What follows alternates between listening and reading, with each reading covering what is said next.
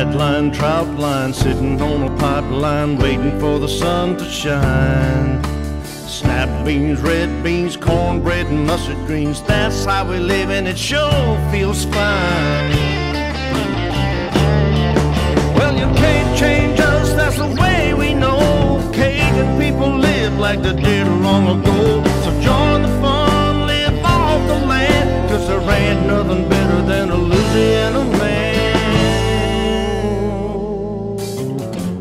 line, trot line, sitting on a pipeline, waiting for the sun to shine.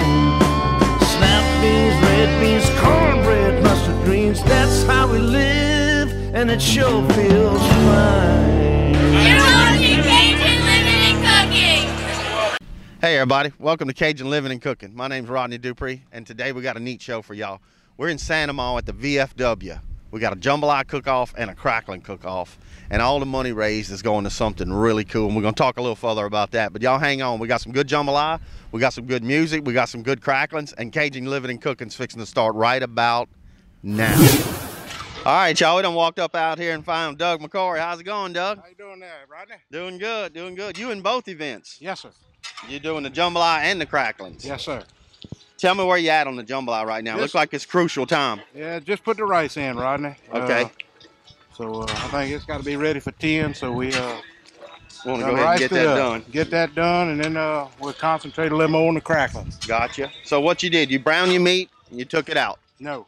No, you left it in. Yeah. Okay. The next step, you come in and brought your onions in with it. That's correct. You brown that down. Then the sausage. Then you put the sausage in there with it. You brown that down. Right. Added your right amount of water. That's right. Come back and brought it to a ball and put your rice in it. That's correct. So we caught back up with you now on the rice. Now what's the next step you're gonna do here?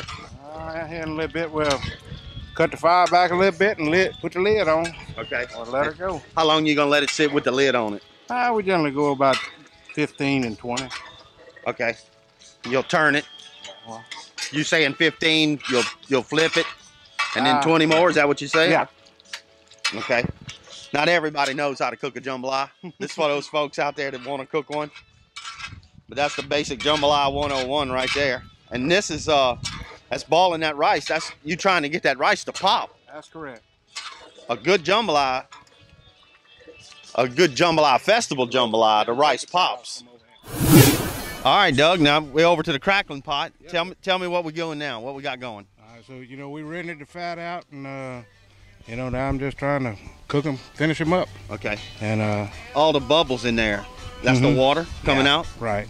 That's the warm moisture coming out, and uh, they probably got about another 20, 30 minutes, and we'll take them out. What temperature y'all are you at? Right now, it's showing about 240. 240. Is that where you want to be? Yeah, around there, 250 somewhere in there. Okay. So, and how long is that process? Well, we started this at seven o'clock, and it's 9:14 right now. So So about two hours so far rendering down, Right. just rendering, rendering, and and you browning now too? no, No, the browning don't happen now. no, that's gonna come later. Okay. So right right now you're just trying to get all the fat off the That's right. crackling, all That's the right. and all the moisture out of there. Right. And Yeah. and after that point, you pull yours out Yes. and you do the ice or the water, We do the water. water on it. Some some people I've seen people use vinegar, but I just think it puts a, a foul taste to them. If you, but I've seen people do vinegar. I've seen people do ice. Uh, I prefer just using the cold water. Gotcha, gotcha. You know, we burn the canopy down. We just get a nose. Yeah. But Well, yeah. Well, you can't ask for a better day. A front No, just came through out actually- here. It's actually good, Rodney. That wind's not messing with y'all too bad. It's about a 10 mile an hour wind. No, uh-uh, not right now. Just check the phone. But uh, but no, Rodney, it's uh, it's all going good. It's good. Uh, you got the cracklings pre-cut. No, I did them myself. You cut them yourself? Mhm, Yes, sir. Now, where the cracklings come from? Uh, got them in Gonzales. Gotcha, Yeah. gotcha. And uh, that's 60 pounds, huh? It was about a pound shy of 60. and, uh, Oh, somebody needed some for bait or something. Yeah, it was about a pound shy of 60. What size pot is that? That's a 15 gallon. That's a 15. Right. So you can put 60 pounds oh, in a yeah. 15 Oh, gallon yeah. pot. Yeah, it, it's gonna shoot. As you cook them, they're gonna go down. You know. Now, when you start, do you start with some oil in I there, or start some, with all, Rodney. how much Yeah. you think? I put two gallons on it, Do you? Yeah. And then I'll take I'm gonna take a good bit of that out, you know, for the next process. You know. Now, now, when you take your all out, will you save that and use that for something later on? I got somebody that wants it. I'm gonna jug it up for when it cools. So. Gotcha. I hear that the hog lard that comes off of this is the best thing to fry your fish in. Now, when you finish up, it's no good, but Right. you know, that uh, while you're popping them, that grease after there. This, after this first process is done, you know, there's a lot of people use that to fry turkeys, fish, chicken, whatever. You know. Yeah, yeah, yeah. Well, that's what started this back in the old days. That's right. That's how people got their lard for the year. They would they would render their cracklings down and get their fat, and uh, when they killed a hog, that's how they'd get their lard. Right. This is the time of the year they done it. Yep, yep. All right, bro. I'm gonna let All you right. get back to it, and we're gonna keep checking All on you. right. We're gonna uh, follow you throughout the day and uh, see how good all this comes out. All right. Thank you. You're welcome. All right, y'all. I'm over here with Chad Corona, and he's got cracklings cooking too. How you looking? What temperature are you at? Right at 245 right there. Okay, and that's where you want to be. Yeah, right now, yeah. Now we was talking. Uh, you've been cooking cracklings a while. You used to cook with Doug. Yeah. I was Doug's helper for a long time. Y'all won awards, huh? Yeah, won a boucherie in 2009. Gotcha. So he's like your mentor. Oh, yeah. Taught you how to do it. yeah. So, uh, what what do you do? You know, when you render yours down, what do you do with your oil? You know, what? I used to keep the first the first batch. I keep the oil. I cook with that, and once you blister them, it's burnt grease. Right. You can, you can uh, brown your pots with it after. That's all I do. is just Oh, store yeah. my old pots. Yeah. Store in some old rusty pots. Now, uh, do you use the ice too, or or do you use Water. You use water Use water at the end. Yeah. to pop them. Yeah. And uh, what kind of seasoning do you go with whenever you season it up? Uh, just salt on this one. It's just salt competition. Yeah, on this one, yeah. Gotcha. You can use gotcha. any kind of other. Yeah, then, uh, at the house, I use a few different varieties, but Gotcha. basically salt. We uh, I've seen some guys, and we even done it before. We took some cracklings, and uh, after you pulled them out from the popping, we put some uh, ranch dressing Oh, yeah? seasoning on them. You know, That the, sounds the, good. the yeah, powdered anything. ranch. You can try anything. So oh, yeah. yeah, the sky's the limit. You don't have Oh, to use yeah. just salt. I guess for the competition to make it even. yeah, that's what it is for, just for the competition. Gotcha. All right. So how long you think you need to? How long you gonna let it go? I'm probably gonna go another, probably uh, popping right now, probably about another 20 minutes or better. Okay. I'm gonna lay them out on a table and let them cool. Let them cool. All right, bro. We're gonna let you get back to it. All right, thank you.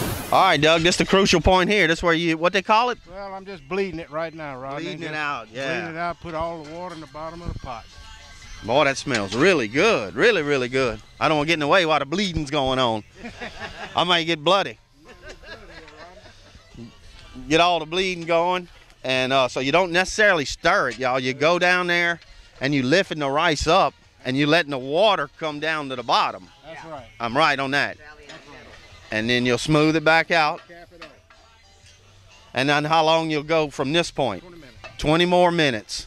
That's crucial time. We get it we get it bleeded, we get it capped off, we get the lid back on it, and we got 20 more minutes. All right, y'all I got a cook over here in the one bite challenge. Let me get your name and where you're from. Anna Alexis Gonzalez. Now what you cooking here? Pork sauce piquante. And in a little bitty pot. Little bitty pot. This is supposed to be a one bite contest, so we decided to go with the mini pot. This is the first time we've ever done this. And it's neat because I've never seen a sauce piquante cooked so little. Well, it's You- first time for everything. Yeah, yeah. I'm really digging it though. Uh, usually you see the jambalaya cooked in the mini pots. Right, right. So this is going to be really unique to see how it comes out. A sauce piquante on such a little scale. I mean, you only need like a little bit of onion, a little bit of pork, a little bit of this and a little bit of that. and it's a pork sauce piquante. It's pork. Gotcha. Okay. Well, good luck to you. Thank you very much. You're welcome. All right, Doug. You got them all out, Yes, sir. and the, and the whole reason for this is for them to cool, right? That's correct. Yes, sir. And you couldn't ask for a better day for this. Man, it's a beautiful day. And and I hear them popping now. I hear them popping, and that's the, that's the cool weather of them cooling Yeah, off. that's them cooling off, right. Okay. And then the next step, you're gonna take most of this grease out. Take most of that all out. Yes, sir. Okay, and leave a little. And what Mhm. temperature you gonna bring that up to? Uh, sm- smoking. Oh, really? 400ish. gotcha. Smoking. Gotcha. And then you're gonna take small batches and throw them back in. Yes, sir. So we're gonna sort sort through them. We'll put them in boxes and you know, the fat. Gotcha. Making some crackling cornbread. Oh yeah. So you want to do the big ones with the big ones? You, is that how you, right, you I'm, talk? gonna sort through them and you know. okay. Okay. Just moving along to the next process though. That's But this is the next process in the crackling. So right. Getting your grease out and bringing it back up on a uh, smaller scale, and then letting them have it then with the water. That's right. All right, y'all. That's We're right. getting somewhere now. Hole in the Wall Seafood and Cajun Meats now has more to offer. The same high quality seafood, live and boiled crawfish, crabs, sack oysters, frog legs, shrimp, gator meat, gar balls, and local catfish, just to name a few. Now selling your favorite smokehouse products homemade sausage and andouille, beef jerky, stuffed pork chops and chickens, fried boudin balls, cracklings, and much more. Now processing your deer and hogs. And come check out our new seating area. RP Custom Trailers and Service is a fully stocked store for RV parts and accessories, with essentials such as tank treatments, hoses, lenses, vents, power cords, cleaning supplies, and everything else your camper may need. Known for customized living quarters and horse trailers for over 18 years. We now specialize in RV insurance work. Talk to Ryan about how to prevent blowouts, and oh yes, that leaky vinyl or rubber roof can be inspected and repaired also. Call or come by and see it all at RP Custom Trailers. Miss D's Sweet Sensations is a wholesale sweet shop located in St. Amant, Louisiana. The business is locally owned and operated by Diane Breaux, now with 12 delicious varieties to choose from. You can find Mrs. D's Sweet Sensations in all of your local supermarkets and convenience stores. Made fresh daily by six full-time employees, right here in Ascension Parish. Hey, store owners, restaurants, and caterers, if you're not selling Mrs. D's Sweet Sensations, you're not selling the best product on the market.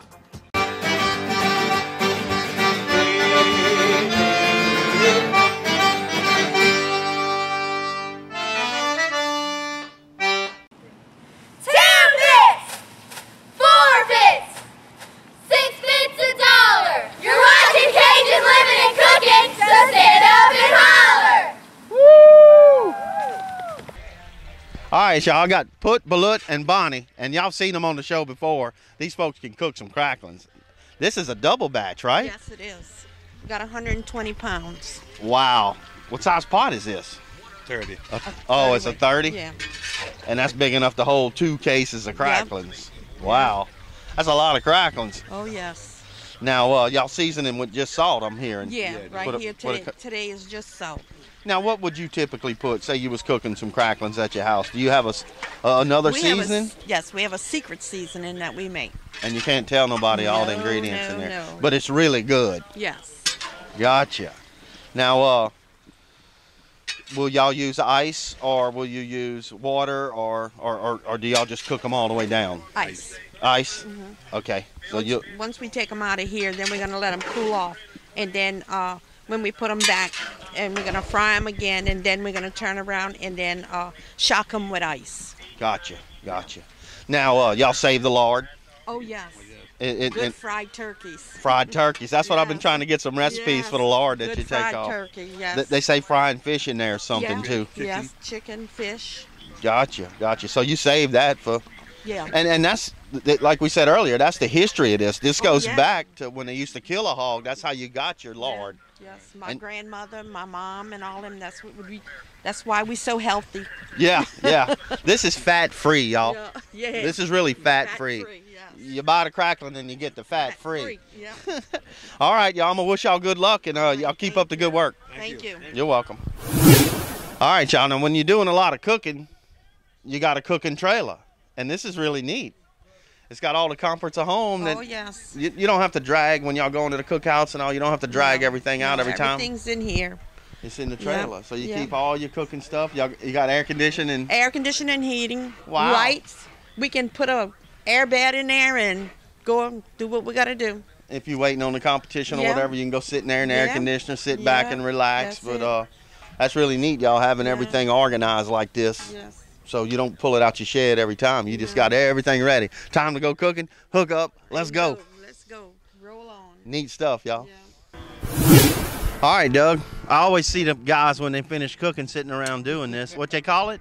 Cleaning the rice up? Yeah, I'm just getting my sample box ready, uh, Rodney, and just cleaning it up, make it make I it got you. presentable, you know. Gotcha. And you looking for impurities in rice or any, Yeah, but it, any, you'll any? They look just about evergreens. Yeah, I- You got it popped really, really nice, bro. And I, and I, I'm not a jambalaya professional, but that's an awesome color and it smells really good too. So I think you got something there, bro. Well, we hope so. Hopefully they can, uh, you know, make them some money today. You know, Yeah, that's yeah. that's key, helping a, It's all for a good cause. You know, Yep, yep. real good cause. Well, uh, I'm gonna let you get back to work here. It's a crucial moment, picking out the good stuff and getting it ready for the judges. All right, y'all. I got the commander of the VFW here, Brent Gautreau. How's it going? Really good, really good. Nice day. Well, we couldn't ask for a better one. Yeah, It's nice. you put in a good order. it works. Sometimes we get what we ask for. Now, uh, this cook-off. How many years y'all been doing this? This is our second year for the fall cook-off. and and, and we have jambalaya, we have mini pot jambalaya, we have crackling, and we have one bite challenge. Where where does this money go? Okay, so we'll support all of the VFW programs that we have. Some of them we uh, will donate to uh, unmet un- unmet needs, which provides uh, phone cards to service members that are deployed, where they can call their family members back home. Yeah. Things of that. A bunch of other of our programs. Gotcha. Yep. And hundred percent of that, I mean, uh, most all of it will go towards those programs. gotcha. yes. Maybe pay for some pans and pots and some grease that we needed to get or whatever. But all it. the money's going right back to a good cause. Yes, sir. Now, uh, the VFW does lots more stuff. We're gonna have somebody else telling some, some of the other stuff that VFW does. Right. Yeah, we, we have a bingo every Friday and Saturday night. That's another fundraiser we do.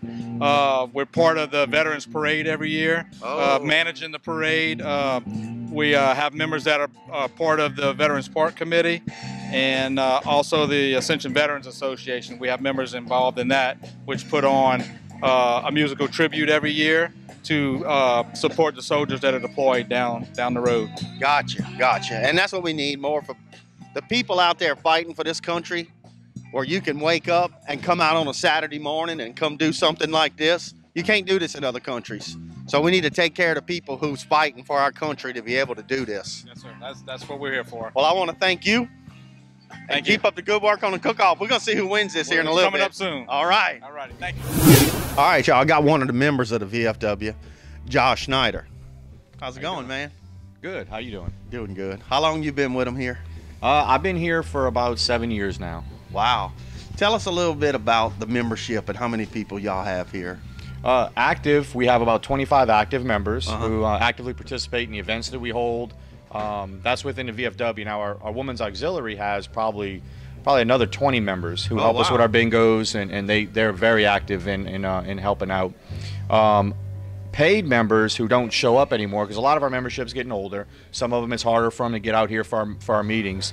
We're right around 200 people, so 200 local folks in the area, uh, all the way back to World War II. So we have World Wow. War II vets.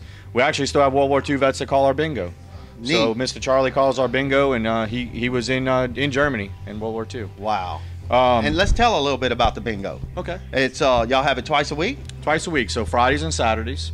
Um, all proceeds go to uh, to support local veterans. So um, we use that money to uh, sponsor the local uh, National Guard Hall off Irma Boulevard. Yeah. So y'all big sponsor for them. That's right. Uh, we try to help those guys out. They, uh, you know, uh, last couple years has been a lot of deployments, so it's really stressful on the families. So we try to help out with the families, hold events for them, and and do things to support them. We also support a lot of our, our veterans in the area that are getting older. So we try to help out with uh, medical bills when we can uh, for our active members. Um, so we, we do a lot to, to try to boost up the Ascension Parish veterans. Awesome, awesome. Y'all, it's out here on Church Point Road.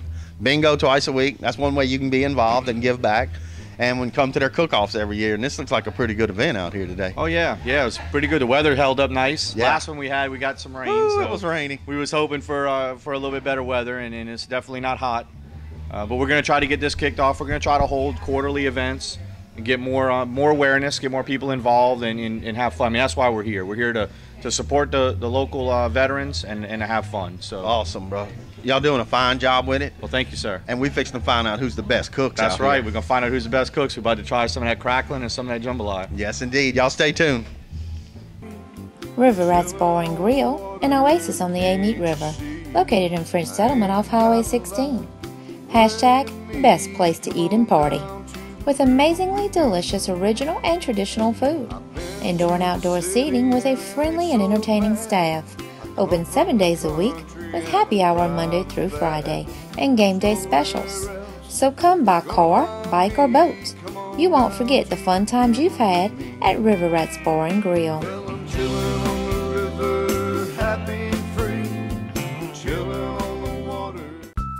Dreams Come True of Louisiana is a nonprofit organization that grants dreams to Louisiana children between ages 3 and 18 with a life threatening illness. Dreams Come True was founded in 1982 by seven families in Denham Springs with a goal of providing dreams to children. All funding was initially provided by those families. Dreams Come True is proud to have one paid employee and provides dreams throughout the state of Louisiana. Dreams Come True provides an average of 65 to 70 dreams per year. Visit our website for more information dctofla.com. Galvez Hardware and Outdoor Cooking is two unique stores in one. The hardware department has everything you need to fix stuff right. The outdoor cooking section cannot be beaten. We have all the latest and greatest gadgets on the market. But also, we keep a large stock of the tried and tested cookware we've all come to love over the years. Coffee and biscuits every morning during the week, cooking demos on Saturdays, and customer service that will help you get the job done. Junior's Meat Market has everything you need when you're going to the camp, tailgating, or planning dinner. We make our own cracklings, beef jerky, hog head cheese, and sausage right here in the store. We also process deer and hogs. Junior's Meat Market has an abundance of groceries and frozen items, which include crab cakes, fried oysters, tilapia, and more. We have daily meat specials, and we cook plate lunches every other weekend. Stop by Junior's Meat Market today and bring home dinner.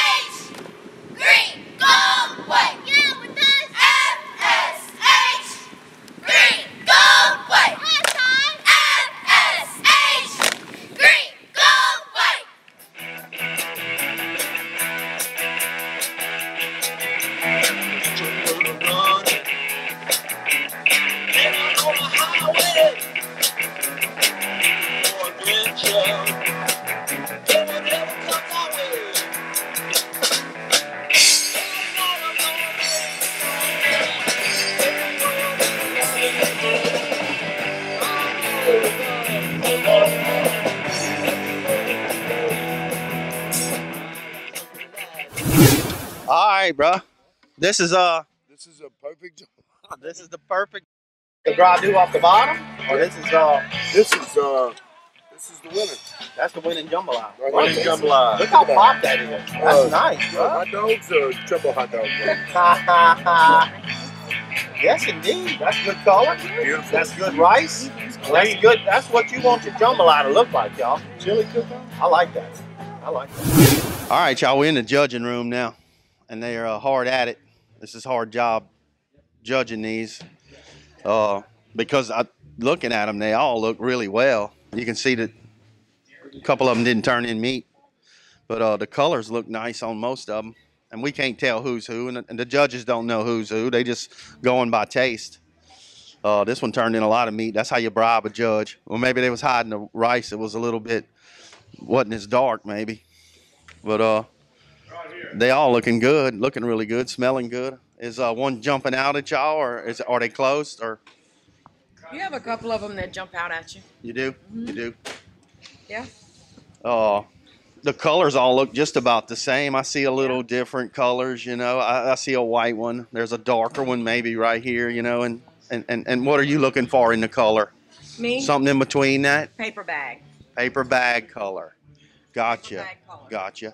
And the rice, what are you looking for in that rice? I want it split like a mini hot dog bun. Gotcha. Gotcha. And, and and the texture of it should be I don't want it dry, but I don't want it gummy. When I um take like this plate here, uh-huh. when I do this, Ah. it's just falling off my spoon. That's what you want. It's right. It's not coming. It's not falling off in a Gotcha. clump. uh, Gotcha. Exactly. So that would be greasy then. No. That It would be that would be a dry- too much water. Oh, Like, it's, it's gummy. Gotcha. Now, when it's too much grease, you're gonna have a sheen to your rice. It's gonna be shiny. Your spoon is gonna be shiny. Ah, you don't want a greasy and greasy if you think that it has too much grease, then you make a hole in your plate. Oh, so you can look. bottom Gotcha. Gotcha. and see is there any grease pooling down there or too much of a shine in your plate. But Gotcha. It's not. I hadn't come across any really that's got too much grease in it. Good. There's some good cooks, huh? Yeah, There's yeah. some good. Is something jumping out at you, Lane? That one in particular, or, or are they close? I mean, They're pretty tight. are they? Mm-hmm. It looks like some really good cooks as I look at them. I don't see any rotel, That's exactly right. no jalapenos in there or anything. I'm very impressed with the size of the meat that's cut up because I don't like meat that's cut up. Tiny. No, like dog food. You No. want a good bite. I want a good bite.